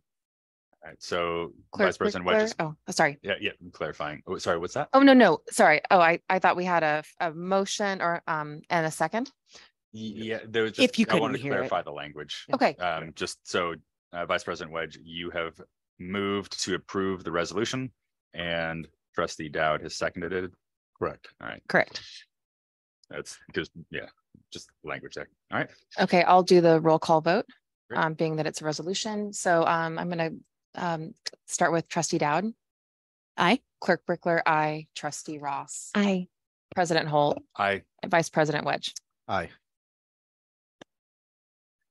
and seeing unanimous approval, the item, uh, or the resolution carries.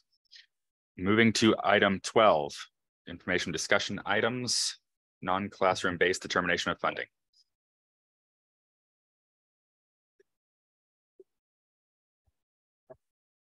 Okay, um, so there was a request to receive information on the funding de- determination for Alta Vista Charter, and we did receive back from the state that um, funding. What's the specific language that we that we would receive funding, one hundred percent funding for the charter homeschool program. See, I knew I was gonna mess that up, so I'm gonna turn that to like. It's been a long night. So so CBO Heather Leslie again. So yes, um, as uh, interim superintendent Lucia Garcia said, um, uh, we finally, as we had applied um, to see about non-classroom based, and from what we can tell from the California Department of Education uh, funding determination that came in towards the end of May, um, is that they would be eligible for funding uh, for a homeschool program. However, as we have stated, um, the board had already voted to um, uh, to, I don't want to say liquidate, to close the dependent charter school. And um, we kind of knew that this determination was going to come after that decision um, in order to meet the rest of our deadlines. Um, however, we do know that that is a determination that they would have had. Uh, Trustee Ross, clarifying question. If someone who voted yes was to redact their vote, um, yes to close, and they redact their vote, would that allow for us to revote and possibly keep this charter open to non-classroom, non-based classroom? uh, CBO Heather Leslie, I'm, I'm going to have to defer to, uh, governance, um, research on that. We may have to talk to legal and see how that would look. Um, from a fiscal perspective, um, that kind of changes the budget quite a bit too, and how that looks. So if we were to look at a homeschool only component, um, we're not looking at an immediate one. And I don't know if we could put a, just have it open and not do anything with it for a while, but there is going to have to be an investment in um, homeschool charter tracking programs.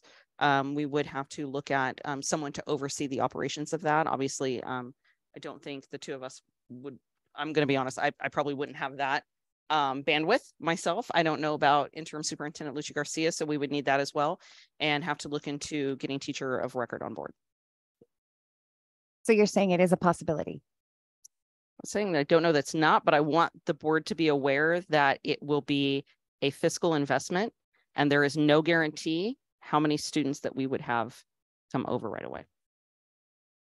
Interim superintendent Lucia Garcia, um, I, I would have to look into um, whether or not we can do that. So I will look into that if the board um, would like to direct me to do that. I think if there's a poss, trustee Ross, if there's a possibility of investing in something that is potentially going to make us money, it's worth our investigation.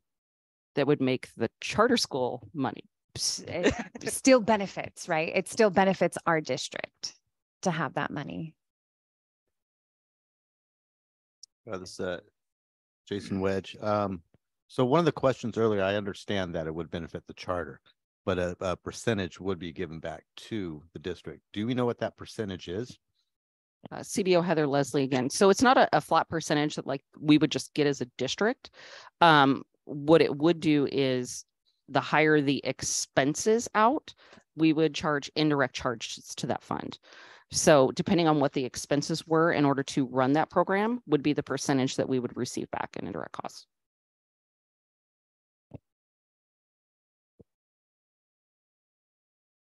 So uh, this is President Holt.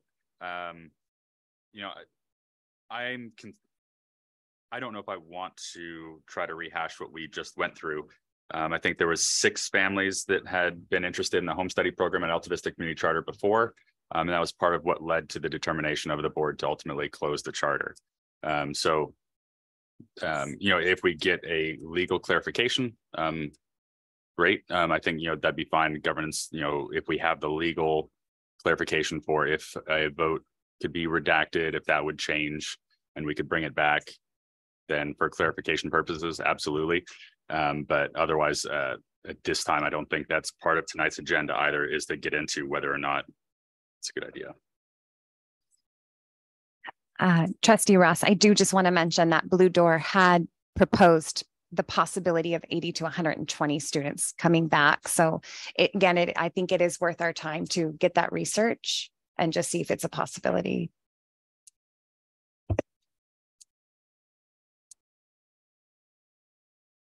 So I think uh, this is President Holt, I think interim superintendent's looking for uh, our approval. Uh, do we want her to do, do we want administration to do that research? It would be helpful to understand. Um. There's a, there's a whole notification process when you close a school. Um. Is it possible, can, can that, now that we understand that the funding is available for a non-classroom based? I I would like to know the answer whether or not the school could be operated as homeschool. I think there's two big questions is, can that be kind of retracted, that decision to close the charter? And um, sorry, so can, can, can that be undone, that decision, decision for the um, purpose of pursuing a homeschool program? And can you have like a one-year gap essentially? So we're not prepared for, to operate a homeschool program in 23, 24. So is there a way to kind of delay implementation? Uh, This is President Holt. Uh, Sup- interim superintendent, how many hours do you think the request would take? Uh, as it's currently phrased? The request I have written down is, can we redact a vote? So that's going to be me reaching out to legal. So it'll be, you know, whatever cost we incur with legal and then um, basically my email. And then if there's any clarification, I can, I can do that. Um, probably through email or a quick phone call. I don't think that will take more than 30 minutes unless there's some caveat that I, I can't think of. Um, as far as the other question, I, um, I would need more clarification on that. And then I would have to, that probably would take a little bit longer because if the, if the question is, would, it be legal or CDE? Because if it's, because we've already notified, we, we've already done the notification through CDE and all that. So I think it's going to be more than just legal. I think it's going to be both reaching out to CDE and, um, but again, that would start with an email. So that would be not as much time, but I would need to know exactly what it is that I'm seeking information on, so I can get that right when I email them. Um, and then from there, I'd have to meet with legal, so that might be a little bit more than, you know, thirty minutes, but um, it could be a, a cut and dry answer as well, that this isn't something that we can do, or, you know, this isn't here are the steps, look at the CD page, so. I'm not sure if that helped. I, I'm going through all my mind, like, what would I, you know, I'm trying to be as transparent with I- what I think the process is. If I get CDE involved, it's going to take a little bit longer. I'm just going to be honest. But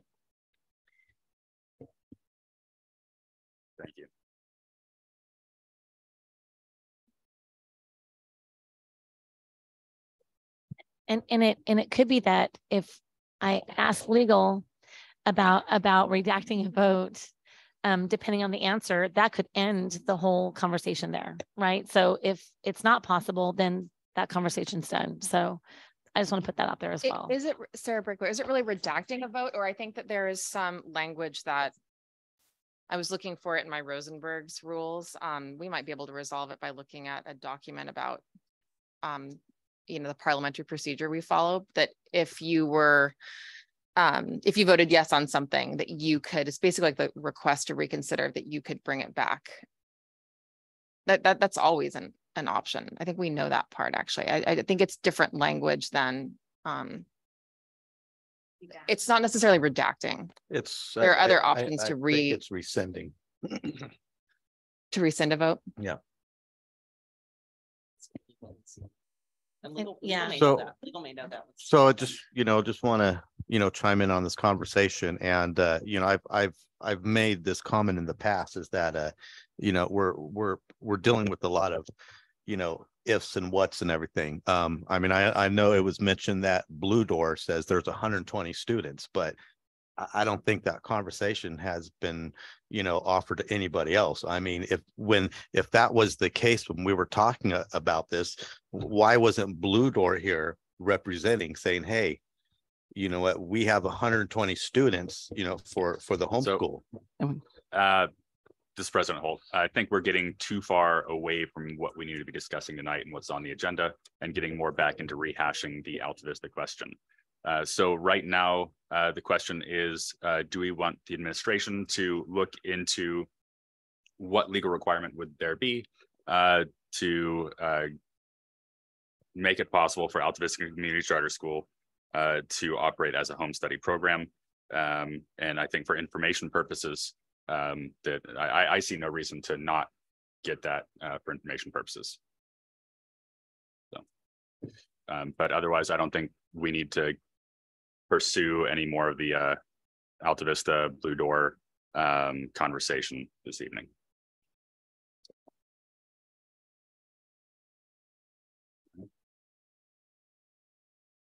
Okay.